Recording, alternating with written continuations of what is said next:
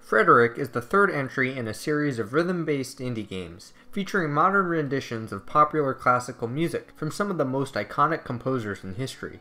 These remixes combine new age, electronic, rock, and of course classical genres to form a unique, inspiring sounding collection of songs.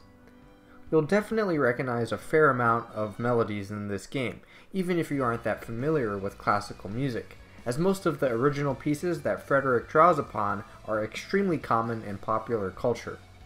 So the game plays out as a series of musical duels between Frederick Chopin and another popular composer.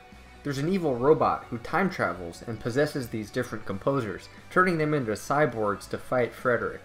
It's a super simple plot, but kind of assumes that you've played the previous games, as you don't really know much about the robot antagonist, who seemingly played a big part in the other games, and we also don't really know much about Frederick himself. So after the opening sequence, I have to say I was pretty confused. But since the story's purpose is just to provide some goofy, cartoony context to gameplay, I think the lack of backstory can be ignored.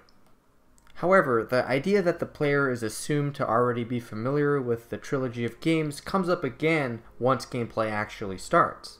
There's no tutorial, and while a rhythm game is somewhat self-explanatory, there are a few different power-ups and bits of the interface that aren't so intuitive.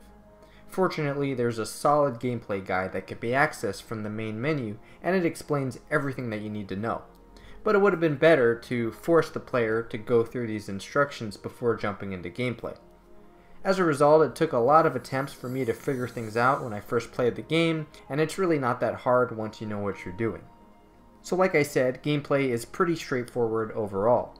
Depending on your platform of choice, buttons will obviously be different, but the goal is to time button presses with notes that roll down the screen and land on a virtual piano. The better your timing, the more points you get. A battle meter at the top of the screen determines if you beat your opponent at the end of a song.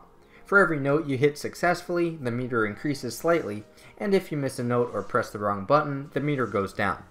To win, your meter has to be more than halfway full, which really isn't too difficult to do. But for an added challenge, you can try to get 3 stars on the level, and that requires your overall accuracy to be close to 100%. So I played this game on PC, but it's also available on the Switch, and from what I've heard it actually plays much better on the Switch. Reason being, you can use the touchscreen instead of a physical keyboard, and that makes it a lot easier to time presses, and feels like playing an actual piano to some extent.